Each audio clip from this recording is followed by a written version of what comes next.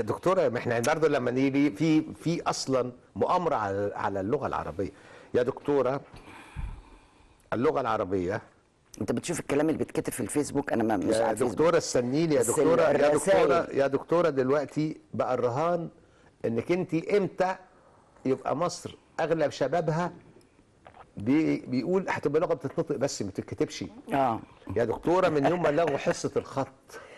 من أيوة. من من, حصة الخط دي مش أيوة. عشان هنطلع خطاطين طب ولا هتتنطق ولا هتتكتب آه حصة الخط ما كانش عشان نطلع خطاطين إنما حصة الخط عشان نعرف اللغة نكتب اللغة العربية ونحافظ على ولود اللغة العربية يا دكتورة هي مؤامرة معمولة على مش اللغة. كان في مسابقات مسابقات للخط مسابقات في الخطابة فاكر زمان؟ هي الفكرة كلها أنا لما راجع عايز أرجع الخط عشان بس الفكرة الولاد أنت لما بتشوف النعكشه اللي بيكتبوها هو مش عارف إيه اللي فوق السطر وإيه اللي تحت السطر وإيه اللي فيه نقطة واللي فيه الفرق بقى بين الطه والتاء وال- والكاف. والقاف والدال عادش ده كله والضاد. بقى سح في بعضه. فأصبح داخلين على فكرة إن لغة تقرأ ولا أنا تكتب. بشوف ناس محترمة جدا وفي مراكز. أنا حكيت حكيت دي بس أنا آسف هقولها ل- للمرة العشرين. في منطقة تجنيد الحلمية. أيام ما كانت تجنيد الحلمية آه. قبل ما تروح آه، في جسر السويس. قبل ما تروح آه، هاكستيب لا تجنيد القاهرة يعني. دفعة مؤهلات عليا ففي شاب ماسك الاستمارة وواقف محتاس. فصف ظابط شافه كده كل واحد عمال يكتب ويملاه وبتاع عشان ورق بيقدموا حاجات كده. قال لي يا ابني لما انت ما بتعرفش تقرأ تكتب لي لعبك مع ال قال له أنا خريج جامعة أنا خريج الجامعة الأمريكية. قال له طب ما كتبت قال ما بعرفش اكتب. يا نهار أسود. ورب الكعبة هذا حصل. طب ده زمان. أنا كت... الكلام ده من 15 سنة. طب دلوقتي بقى. لما خلصت. فكانت استنيني.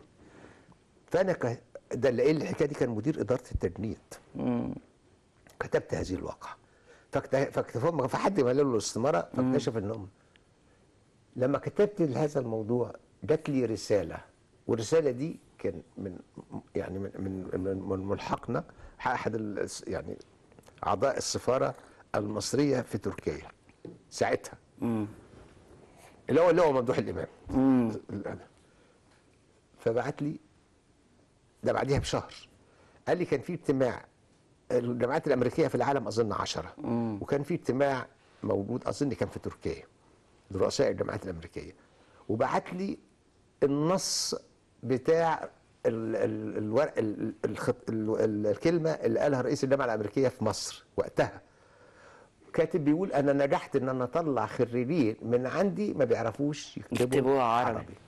full stop خلاص انتهى. ده اللي أنا عايز أقوله. هناك مؤامرة على اللغة العربية. فلما نيجي نشيل المعممين ونحط اللي ما بيعرفوش يبقى تعرف إن المؤامرة ده من زمان. ما الحاجات اللي بتتعمل من زمان عشان تعمل في التعليم وفي في حاجات كتيرة جدا عشان تطلع